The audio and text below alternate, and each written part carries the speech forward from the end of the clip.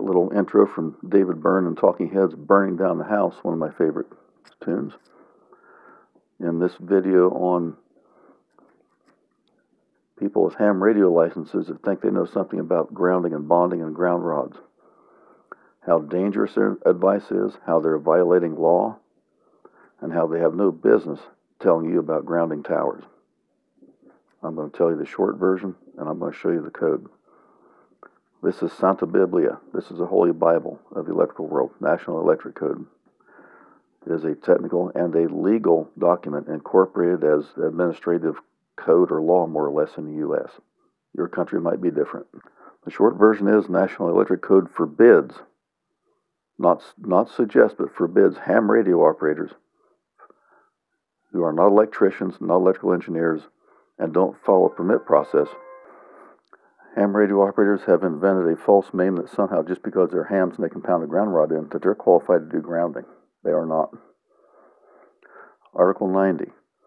Intention. This code is not intended as a design specification or an instruction manual for untrained persons. Scope covered.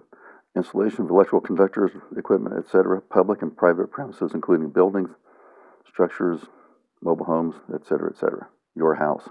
Enforcement code intended to be suitable for mandatory mandatory application by governmental bodies that exercise legal jurisdiction over electrical installations.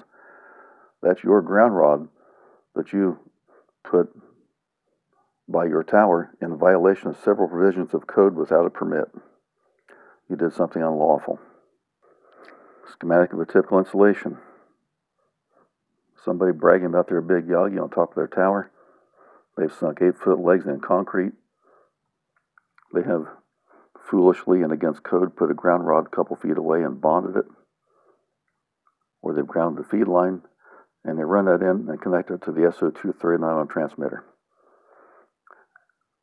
The only thing that's in compliance with code here is that the tower is required to be grounded, and it is. There is not one shred in this code that requires grounding that ham equipment and hams blow smoke up people's behinds about how I grounded my equipment for safety. No, they did something dangerous. Because if this system is energized by a high power lightning transient, the fools have then energized their transmitter. And Lord help you if you're touching it when that goes off.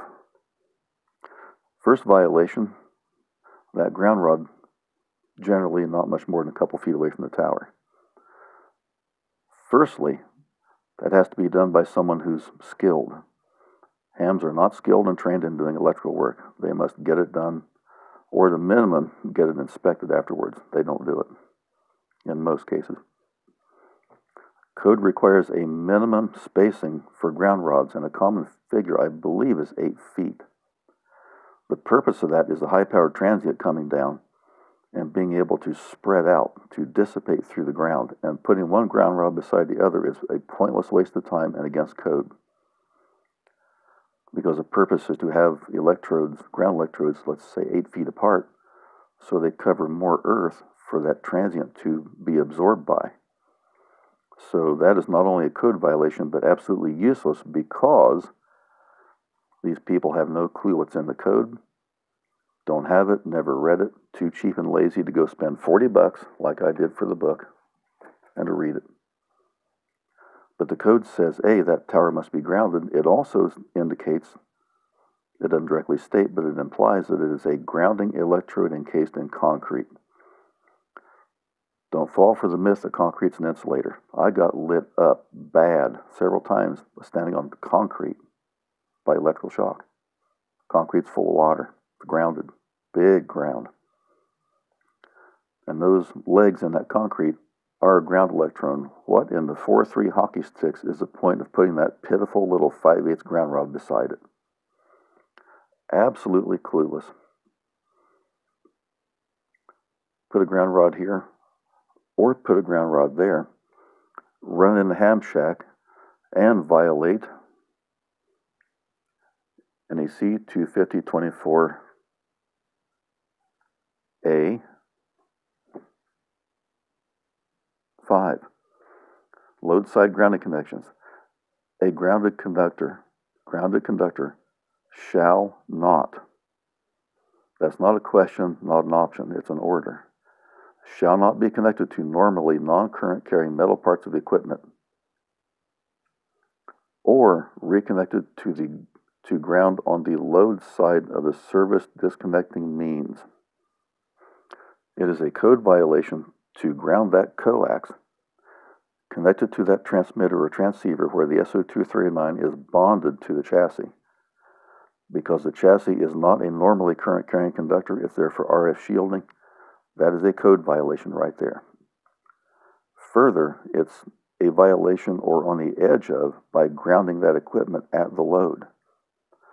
Only a ground is permitted where it can be bonded to the service entrance ground rod, not 75 feet away in the house. That risks defeating the function of GFIs. Or if there's a ground fault between the load and the panel, that the current can escape out through your grounded equipment grounded together in violation of code and down the coax and out in the yard and set you up for getting a serious shock or being killed. There is a simple way around that, run equipment off batteries, but it can't have the charger running off the AC mains connected at the same time that coax is grounded. It's sheer ignorance of electrical physics to ground that coax if it's running along the ground anyway because it's already grounded by coupling. The code doesn't necessarily say DC grounding.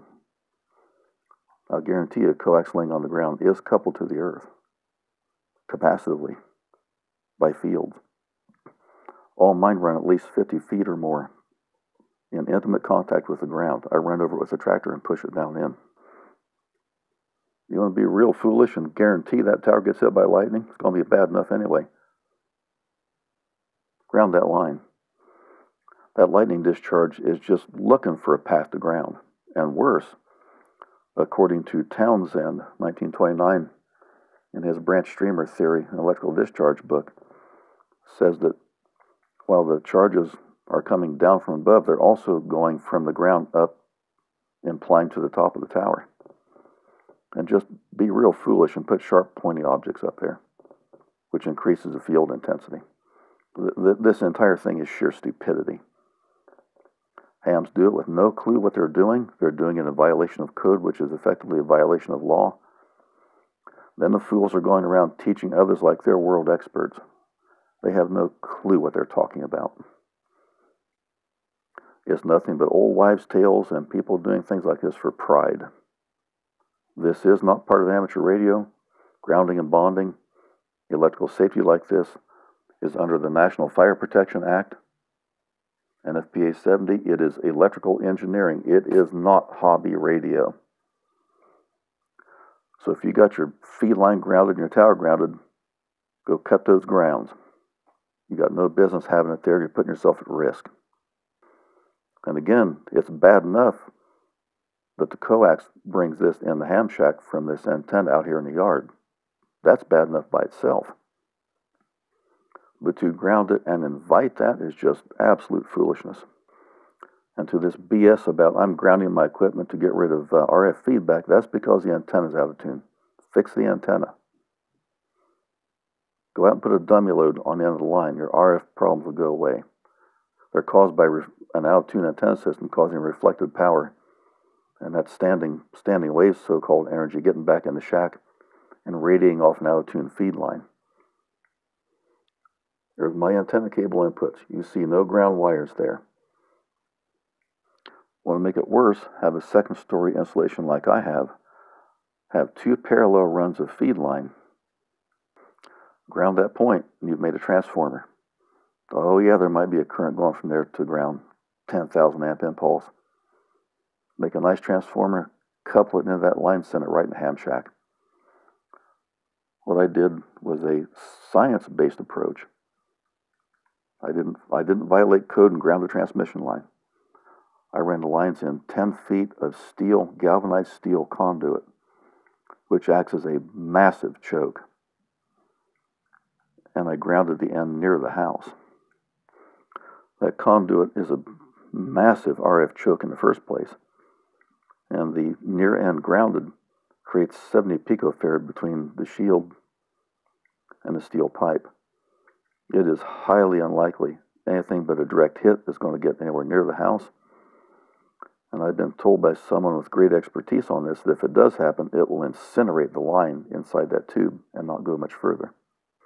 In summary, if you're just a ham, you have no business putting ground rods in. Hire somebody. If you're too cheap and too lazy, get out of ham radio. You got no business bringing a, a conductor that can carry lightning currents in your house. Don't fool with it. You're worried about insurance? The last thing the insurance company wants to see is that you butchered up a ground rod installation in violation of the code because you were too cheap or lazy to hire somebody to install a ground rod. That's very straight pointed talk. This is a life safety topic. I don't want to hear complaining and whining. Again, authority, NFPA, NFPA 70. That is a life safety code, not a ham radio code. So none of this ham's playing electrical expert because they're not. KBYP out.